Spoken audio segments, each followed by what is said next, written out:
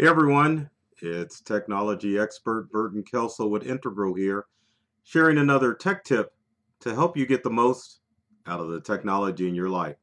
Today we're talking about sending text messages from a computer.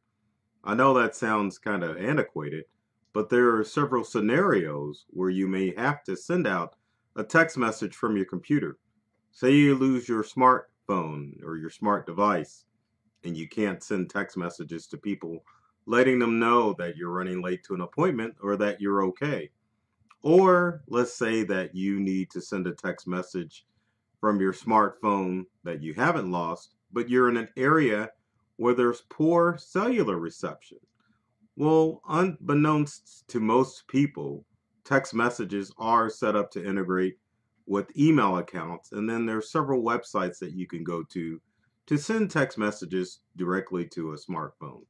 We're going to switch screens here.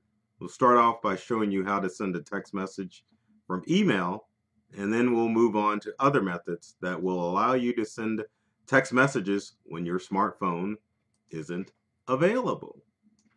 So from our Windows desktop, we have a Compose window open in Google Chrome.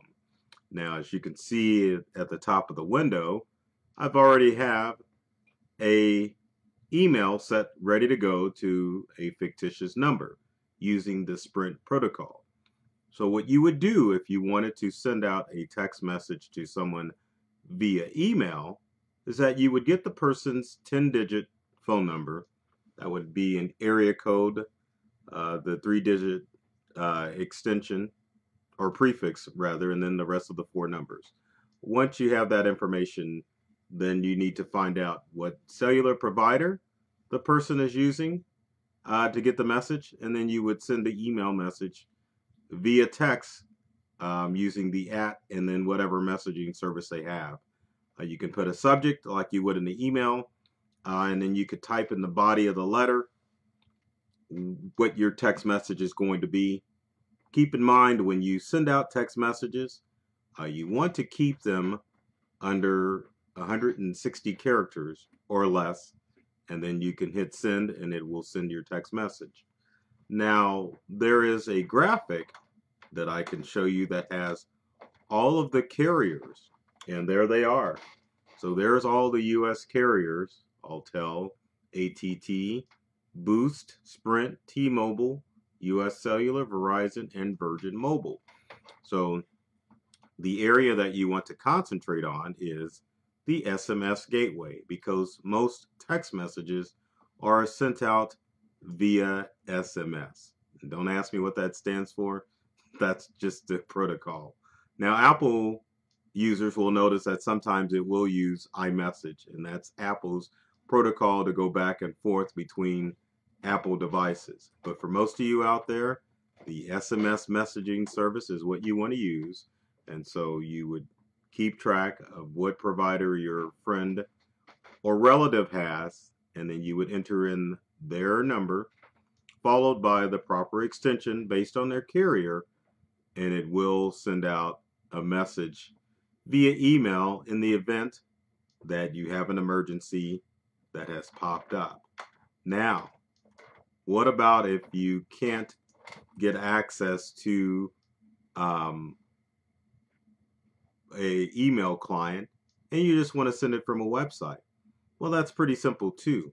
There's several websites that we can go to that um, allow you to send out text messages, and we're going to take a few, a look at a few of them.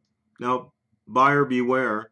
Like a lot of free websites out there, you really need to be careful um, what service you use in order to send out text message. So the sites that you can look at are TextEm at textem.net, and this isn't considered a safe site. But if you were in a pinch, you could go to textem.net, type in the recipient's phone number.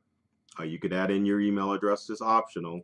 You do have to know who they are using for a mobile carrier, and then you can send out their message and agree with the terms of service. Next on the list is send SMS now, what allows you to send out a free text message if you're in a pinch and you need to notify someone if you can't get to your smartphone. Next service would be texttoday.com. Uh, as you can see with a lot of these sites, with send SMS now and free text, there are a lot of ads on these sites. So beware. Be careful not to click on the ads if you have to send out a text message. Now, finally, the safe and final option would be to use Google Voice. If you have a Gmail account, you could you can also send text messages um, from your Gmail or Google Voice account. So if you have Gmail, which most of you do, you have a Google Voice account. Set up your Google Voice account as an emergency, and if you are frequently in areas where there is spotty cell phone coverage, or if you're one of those people that continues to lose your cell phone, uh, you could use or log into your Gmail account, provided that you set up a Google Voice number, and then you can send text messages back and forth with people, uh, letting them know that you're okay or you just want to send them messages. Now, for you Apple users out there, keep in mind that you can use iMessage uh, in the case that you lose your iPhone to send out messages from your Mac or iMac computer uh, just like you would a normal SMS message. So those are your options for sending out text messages. Hopefully you won't lose your phone, but if you do, keep in mind that there's always a place where you can send out a text. As always, if you've got comments or questions, leave them in the comment section below.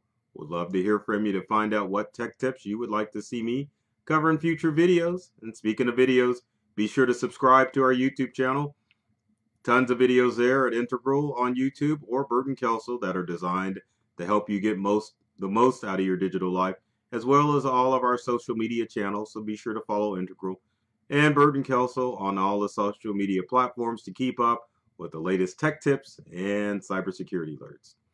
Folks, take care of yourself and do many things to make you smile. And thanks for watching.